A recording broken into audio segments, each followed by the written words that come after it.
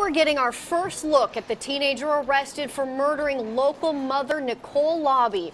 Jaime Tinoco pleaded not guilty today. This just days after he was sentenced for raping a woman when he was at a Ducks football game.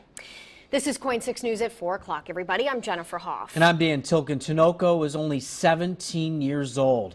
New at 4, Lisa Balick was in the courtroom. She joins us from Hillsboro. Lisa, did he say anything? No, not even afterwards, as I tried to talk with him as law officers led him away. And tomorrow, Jaime Tinoco Camarena turns 18 years old behind bars.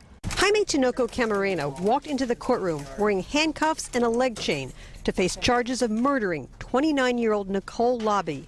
His attorney entered a not guilty plea to charges of aggravated murder and unlawful use of a knife. Nicole Laube, a married mother of two, was stabbed to death last August while working at an apartment complex in Cedar Mill. 17 year old Tinoco Camarena had lived near the apartment complex.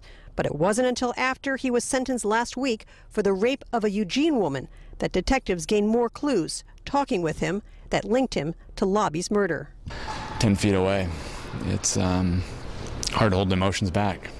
Nicole's husband, Chris Laube, told me he vows to be at every court appearance of the teen accused of murdering his wife. He says he will continue to try and make eye contact with him at every chance.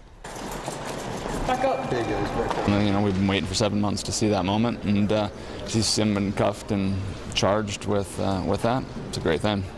It's a great day. Mm. Mm.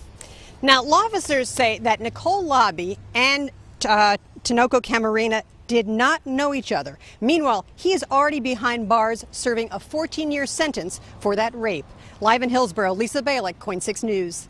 You know, her husband said just 10 feet away. Not a very long sentence, but so much meaning in all of that. Thank you, Lisa.